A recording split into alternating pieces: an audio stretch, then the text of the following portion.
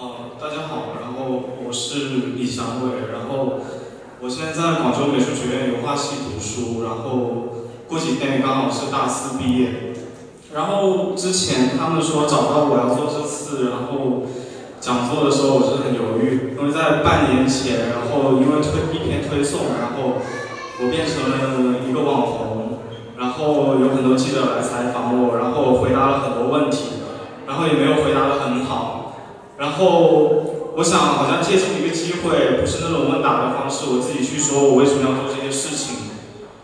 然后我就接下来了。关于这次演讲的题目叫晚春，然后中学地理课本上，然后北半球的夏季是六七八三个月。然后这个讲座在五月二十五号，虽然广州已经非常热了，但是严格意义上来说还是晚春。然后晚春也是邀乐队的一首歌，我也非常喜欢。然后另外一个叫晚春的原因是，六月份是我可以想象到一个非常沉默的一个月，然后我现在也是困在晚春里面。然后接下来，然后我就以我的几个作品，然后讲一讲我跟学院、我跟美术馆，然后我以为的艺术到底是什么，然后年轻人到底应该做什么，然后来切入。然后。呃，我讲的第一个作品就是《父亲请罪一百天》，然后在一七年五月九号，然后广州美术学院给了我一个处分，然后关于罪名就是我在广美涂鸦，然后公共区域制造噪音等等原因，然后就给了我一个严重警告的处分。然后收到这个处分之后，然后呃，我跟我的几个朋友就反复的向学院去申诉，因为你是有这么一个申诉的。一个权利的，然后我们申诉，然后又驳回来，申诉又驳回来，根本就没有看到对我们下达这个处分的院长、书记，只是说油画系的老师反复找我们谈心，然后到最后，呃，我的两个朋友的罪名就降了一等，然后我就还是完维持那个原判，就是严重警告。然后关于为什么要做涂鸦，为什么要制造噪音，当时是我们几个人觉得。呃，广美原来是一个相对来说比较开放的一个学校，然后是允许涂鸦的。然后在一个时间节点上，因为各种乱七八糟的原因，他们就不再允许涂鸦。然后我们学校的那种学生会也没有给我们一些，他们说可以跟呃书记啊，然后校长谈话的一个机会，所以可能是我们一个抗议的一个方式吧。然后这件事情出来之后，我就在想，我要不要把这个 T 恤，然后印在背后，然后把它叫做“父亲请这一百天”。引起大家更多的关注，呃，当时很纠结，因为学院当时给我的压力非常大，然后我在大概想了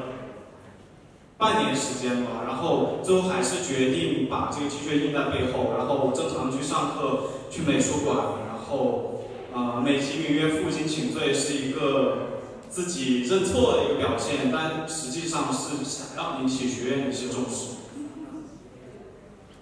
然后 T 恤的背面印的是我们我们学校给我下达那个处分书，然后 T 恤正面是一个空白的，然后当时就想让更多的人参与进来，然后就叫移动广告牌，然后就在网上征集一些广告位，这些广告位是要钱的，然后正好也可以来填补我做 T 恤的那一部分钱，然后降低一下做这些事情的成本，然后最后拉了十七个赞助，然后印出来的 T 恤就是这个样子。然后在这个事情进行到十几天的时候，红砖厂当代艺术馆，然后有一个比较幺拉的展览，比较幺拉就是那种所谓的艺术大师嘛，然后就有所谓的很多广州的那些艺术圈的人，然后艺术圈的大佬，然后就去展览现场，然后我就进到那个美术馆里面，然后找了一面白墙，然后就面对面站着，然后背部的处分书其实就是背对着大家的，然后很快就吸引了注意。然后美术馆的工作人员、志愿者就过来跟我交涉，然后大概谈了几十分钟。他们发现我讲不过，他们发现他们讲不过我，然后就找了一个志愿者，然后站在我背面，然后跟我面对面站着，然后到展览结束。然后到结束之后，然后我跟这个志愿者还成为了朋友。然后大概就是这么一个情况，对。然后也因为这件事，因为那些所谓的学校领导也会去办这个展览，然后让这件事情实际上是直接升级。然后学校给我更大的压力，让我停止再继续做这件事情。但是我有查过相关的条例，然后说红头文件没有规定不可以转印，所以说他们在条例上也找不到我的这个行为到底有什么问题。然后，但是迫于老师啊各方面的压力，我还是在第十五天的时候，然后停止了这个行为，然后把这些照片，然后这些资料，然后收集起来，然后相当于给学校打了一个游击战。然后再过了一段时间之后，然后我把这一部分然后整理出来，做了一篇推送。然后这篇推送的名字叫“撒泡尿照照你自己”。然后当时学院也是非常生气，但是就有很多就是在学校里面，呃，做类似这种事情的人，然后大家就聊一聊，说继续做下去还是很重要的。虽然说学院仍然不愿意跟我们谈话，然后但是我们如果继续做，然后还是可以提供一个样板，然后别人再继续来做。而且这个事情到现在也没有解决，停在那里。下面两个作品就是，呃，一个是广北最后一个毕业生，就是我在大二的时候，然后假装一个毕业生在学位授予仪式上，然后去领这个学位，然后当时就递给那个播报员一个随便我杜撰的一个名字，然后我就上去了，然后那个播报员就像我这样拿着话筒，然后播报了这个名字，然后我就变成了版画系的一个毕业生，然后。当时大家都没觉得有什么奇怪，除了说在现场认识我的几个人。然后我晚上就把这个视频，然后整理出来，然后又发了一篇推送，然后叫做“广美最后一个毕业生”，然后说我是开了一个黑色的玩笑。然后当时也是被大家就是转的比较厉害。然后这是我第一次用这种虚构的方式吧。然后到后面，然后我八月份到家那边，然后就。做了一件事情，然后就是有一个人叫杨永信，然后他就是在电击那些网瘾少年，然后我当时就想根据杨永信这件事情做一个作品，然后我就想找杨永信的家，但是我去贴吧啊，然后谷歌各种全都找不到，然后找到之后我就想，如果没有人知道杨永信家在哪，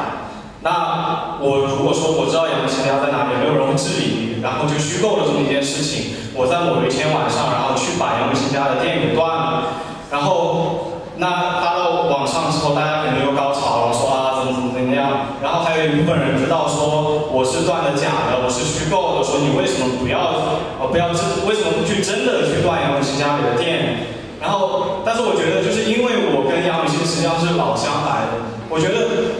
就是在现在这种情况下，然后针对一个个人啊，不是针对那背后的系统，然后去调整的话，这种事情是无休无止的。因为你把杨永信电击治疗给取缔了，然后有孔子学院，然后背后事情其实仍然没有解决，然后背后实际上是家长，甚至我的家长，我自己都是共谋犯，然后才会导致这个社会出现了这么鸡肋的一个东西。然后我觉得是整个那个时候，然后一大批人。接受的教育都是畸形的，包括我的高考教育，然后才会出现这种情况。然后我，而且在现在这种互联网时代，然后一个消息的真实和虚假到底有多大的意义呢？那如果我们能够用这种方法去虚构一个真实，让它成立，然后就可以减轻很多很多的负担，然后去引起大家重新反复的去讨论这个话题。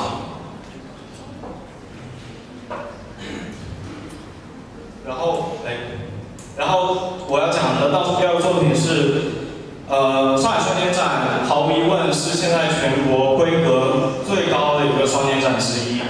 然后我在去年的上海双年展去看了两次展览，然后整个感觉都不是很适。然后我就和我的朋友留言说，我说我们可不可以用另一种方式来评价一个展览？大家好比说你发一个朋友圈说啊，今年上海双年展好烂。那我们难道应该期待下一个双上海双年展更好？然后我们就想去淘宝上买这么一个甲醛测试仪，然后去测上海双年展这么一个宏大的展览里面的每一件作品的空气质量。然后当时测的时候也是心里没底的。然后最后出来的结果就是，我们测了三十件作品，然后有三件是甲醛超标的，二十七件是 TVOC 超标的。然后后来大家又说质疑说你这个淘宝上买的一个几十块钱的空气质量检测仪到底准不准？后来澎湃新闻就找到我说可不可以重新去测一遍，然后去报道。我说那当然是一件好事，你们拿专业的仪器去测一遍。但是后来被告知说关于上海的负面新闻不允许报道。那在一个真假的不能报道的一个情况下，那这个数值到底是准确还是不准确的，又有多大的意义？然后我也觉得这可能是我在面对现在所谓的我是美院出身，毫无疑问的一个学院派。我在面对美院、面对美术馆完全没有年轻人发声的机会的情况下，然后选择用互联网，然后让大家更快的看到我在想什么、我在做什么的一个呈现。然后至于说啊那些三十岁以上的那些所谓的成功艺术家。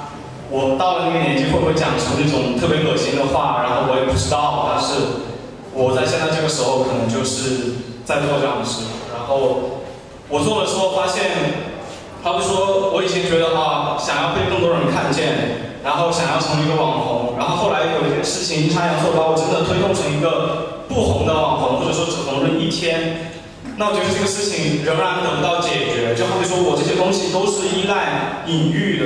就好比说，我们当在微博上打一个关键的那么一个字“政府”变成“政府腐败”的那个“腐”，然后再变成 “zf” 的时候，那我们必然会越来越依赖于隐喻，然后必然会自己都不知道自己在讲什么。然后也是因为这种隐喻，只能让知道的人知道，然后不能让不知道的人知道。然后可能我在经历了那么一段时间之后，我自己也在反思，我接下来可以做什么。然后，呃，我接下来就放一个影像嘛。然后当时是在，我现在是在南村生活嘛，然后就在广州番禺区。虽然说是住在广州，可是一直都是在广州一个城中村里面。然后这个城中村里面有一只猪，然后是被广美的一个呃毕业生遗弃的。然后后来这个猪就越越长越大，然后在长到一定的程度之后，然后就被村民拉去杀了。然后我就根据这么一件事情，然后做了一个视频。我一直觉得自己係一隻前頭前尾嘅野豬，直到有一日行咗好遠好遠嘅路，唔小心遇到咗豬圈嘅圍欄。聽講，如果將個豬圈建得足夠大，裏面養嘅豬就足夠好食。我唔再諗關於自由嘅事，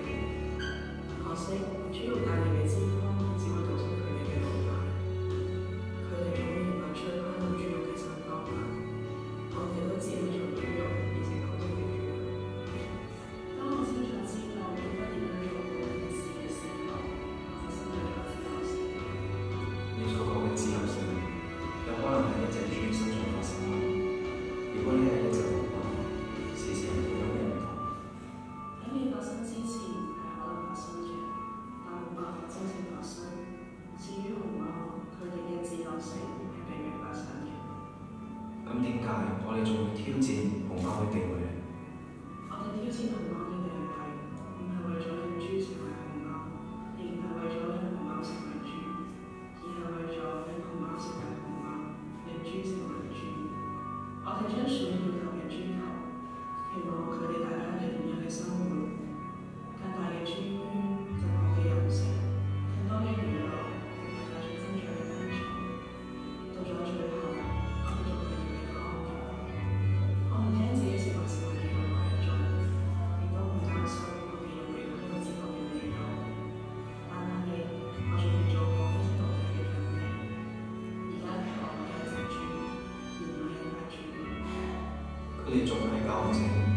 系统具有